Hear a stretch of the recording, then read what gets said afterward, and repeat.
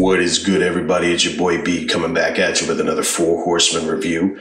Some of the top strains that the New Jersey Cannabis Program has to offer. This time we are going back over to Garden State. As I mentioned uh, in my prior video, um, they have been very active in finally rolling out a bunch of new strains across a couple of new brands um, that they launched. Um, I think they've they've had these, or they've been working with these uh, outfits for quite some time. In I think they're in Chicago. They're they're the MSO, um, but don't quote me on that. But at any rate, we are here to look at um, one of what I think is one of their finest strains right now on their entire menu. Um, I went over there last week and um, jumped all over this fried ice cream. This is from Lit Farms. Um, and um, although there really, again, there really isn't much information about this strain online at all. Mean, I searched everywhere, um, including uh, Garden State's website, which had a little bit of information, but they don't have a strain library on their website anymore. So if it's not available, you're not going to see information about the strains, which found kind of strange. Um, so I'm hoping that they can do something about that and, and add more information about these strains too. There's a lot to learn about these and um, there's uh, some really interesting um, cultivars that they're rolling out over these uh, these next weeks here. So, um, so what I wanted to do was kind of just wing this in terms of I don't really have a description to read for you. Um, we obviously do have the numbers, um, which are not posted on the New Jersey State site. What's up, New Jersey? Um, but um, I do have numbers that I can read off the label. Then we'll kind of you know jump into scoring and stuff like that. And and you know, I mean, it'd be great to have uh, to have a full description, but you know this strain is just too special to not to not talk about. So, um, so um, looking at um, whatever information I do have here, the lineage uh, looks like it is a combination of ice cream mints at number thirteen and runts. And um, if you know about either one of those strains, they're more on the euphoric side, um, more on um, the heady, you know, euphoric slash heady kind of thing.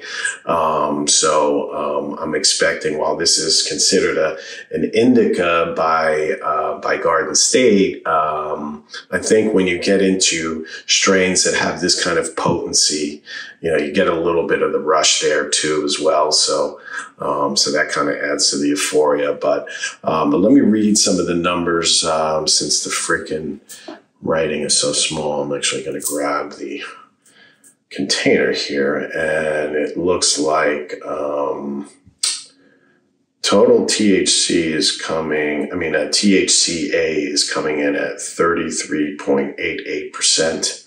They're not showing a pure THC number here that I can read. CBGA is coming in at 0.129, CBDA coming in at 0.10, CBG 0.07, no CBN or CBD detected.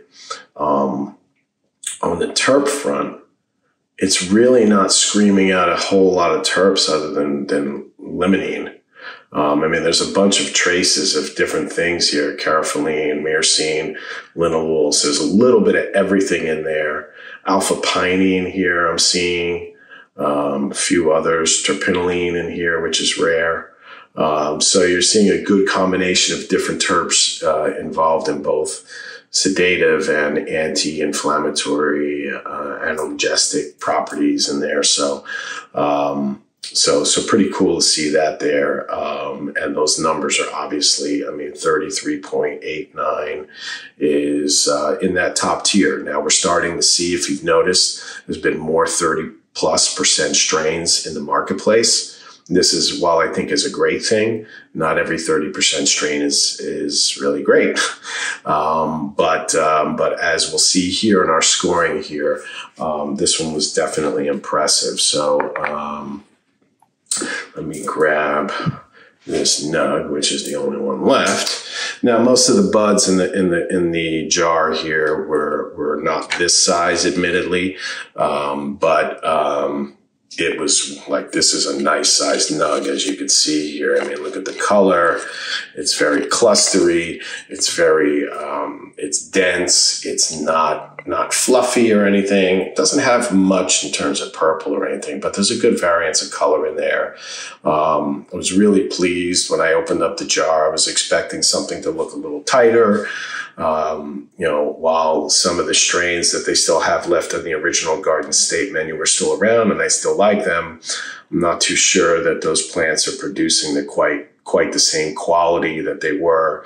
Uh, so I was a little worried naturally about what was going to be coming out of out of Garden State when they decided to uh, go the MSO route. And um, while um, you know we have our opinions about MSOs, I mean, you can't deny that this is a very beautiful looking bud right here, you know, and um, it's got all the markings of a very, very, very um, top shelf sort of uh, look here. So as far as looks are concerned, I'm going to give it a 4.75. Um, as far as the smell is concerned, um, it has a little bit of the cheese thing in there, so I'm not a huge fan of that but there is a lot. I mean, as, as I read, there's traces of like almost every terp there. So you're going to get a, a, a mishmash of different flavors, different aromas. So, um, so I was impressed with the aroma. While I'm, you know, I'm not a big fan of the cheese thing. Um, overall, I do like it. I'm going to give it a four and a half in terms of the smell. As far as the uh, the taste is concerned, I mean, it was phenomenal. It did not taste like the smell. It lingered on your tongue for quite quite a long bit of time, and um, it was really pronounced. I'm going to give the taste a 4.75. Um, was very shocked by it. I was like, wow, I was expecting to get something that was in one direction, it was in another, and I was like, wow. Um, as far as the effects are concerned, um, you know, coming in at a plus 30%, you know, you are going to get that euphoric feel on the front end. Um, this is an incredible strain, guys. I mean, I, I it was super. Um, let's see, on the front end, I almost kind of just really kind of had some amnesia there for a couple seconds. It was really like a, you blew, I blew out, and I was like, wow, this is really, really good. I haven't had that kind of feeling um, I mean, I, you know, Donny Burger, you get it, you know, you get it with, um, used to get it with the GMO, RIP GMO. Um, but used to get it with the GMO at, at Garden State. And, uh, but now they have this here. Um, and, um, you know, the, the, while it is a hybrid, it is really heavily leaning towards, um, towards indica um, if not, you know, majority indica. As you could feel it on the back end. It's all body high, all very relaxing, very uh, sedative. So this is a, a nighttime strain for me personally, even though you have that euphoric thing it's really kind of offset by the mellowness of the the indica side of things. I'm presuming that's that's kind of maybe the the runts and the you know both of those kind of have a little bit of a straight down the middle sort of thing. So, but there's a, a ton of body high in this on the back end, and that lasts forever. So, um, super impressed with the effects. 4.75, and as you can imagine, I'm going to give this a 4.75. Um, you know, Garden State is back. If you guys are writing them off, don't write them off. Um, they uh, they've been planning this stuff all year. Um, while this is only available for medical right now, I'm sure it'll be available for rec too. So everybody out there can get that, um, get theirs. And uh, but I really love this strain. Let me know what you guys think of it. I don't know if you guys had a chance to try it. I don't know if you guys noticed what's going on over at Garden State, um, but uh, definitely worth a try. Another thing I wanted to mention to you too is that they have a um, a rewards program. So I don't know if you guys are participating in that, but um, I signed up for it months and months ago at the top of the year. And I don't really go to all these places, you know, every week. I, I spread it out a little bit, but I forgot about the rewards and I checked my rewards number and I'm getting about $80 in credits from just, you know, maybe 10 trips this year, maybe a little bit more. I don't know.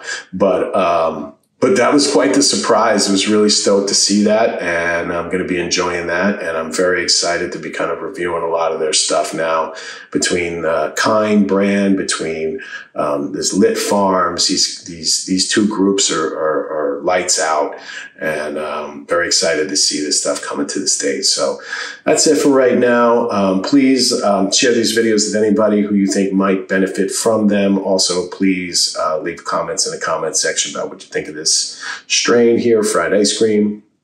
Also, please subscribe to the channel if you haven't done so.